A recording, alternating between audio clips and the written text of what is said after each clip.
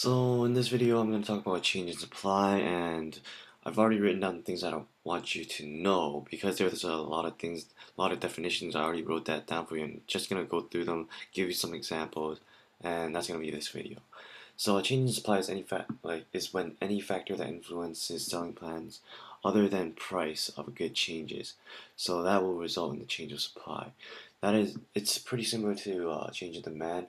Pretty much when your price stays the same but some other factor changes the selling plan of the of the producer changes, then that will cause a change in supply, and that change in supply causes a shift in the supply curve. Now there are six main factors that bring about changes in supply. They are the prices of factors of production, prices of related goods good produced, expected future prices, number of suppliers, technology, and state of nature. Now the price of factors of production is used to produce used to produce a good influences the good supplied. So for example, when jet for example when jet fuel uh, increases, so the jet fuel price jet fuel price goes up, then the supply of air service, the supply of air service of air service will go down.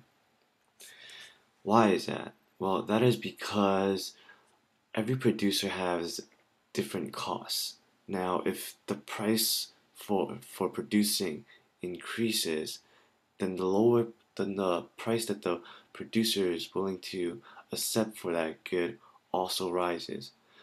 And if and because different firms or different producers have different cost structures, the producer with the worst cost structure would have a pretty uh, would have a lot of costs to cover. So when the prices of production rises, the marginal cost will rise. Some producers uh, marginal cost will rise more than other, so more than others. So that's why some some producers will drop out of producing that good. So then that's how, that's how the supply of the good actually decreases. The next thing I want you to know is the price of related goods produced, and that is that is relate that is the prices of related goods that firms produce influences supply. So the prices of related goods that firms produce influences supply. What that means, for example, is let's say that we have uh, let's say that we have this energy drink this energy drink. And let's say that its price its price goes up. Then the firm switches production. The firm this will cause the firm to switch production switch production to energy bars. Let's say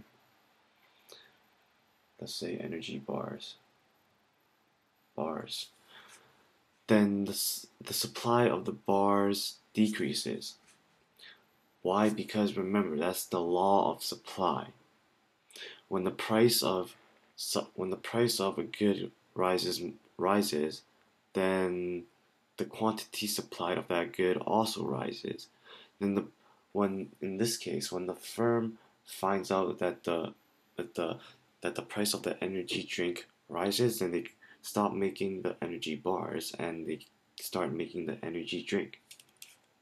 Another example of this, uh, well, uh, another note is that in this case, energy bar and energy drink are substitutes in production. They are goods produced using the same resources. So, the this and that, they're uh, they're substitutes. They're substitutes in production. In production, which I will just abbreviate in production. And this means that they are goods that uses uses the same resources, uses the same resources. And another example would be uh, the price of beef rises, so then the supply of cowhide rises. Now we get our beef and our cowhide in the from the same resource from the cow, and beef and cowhide in this in this case they're called complements in production because they're goods that must be produced together, and you will just have to remember that. I'm not going to write it down because as you can see I have no space. So then when two goods when two goods uh, like energy drink and energy bar uses the same resources and they can substitute for each other then substitutes in production but when we get this when we get two things from uh, one resource uh, no matter how like beef and cowhide no matter what we do, we can only get we we will always get beef and cowhide from the cow. Those are complements. Uh, those are complements in production. Now, expected future prices is if the price of a good is expected to rise, then the return from selling the good in the future is higher than it is today. And supply decreases today and increases in the future.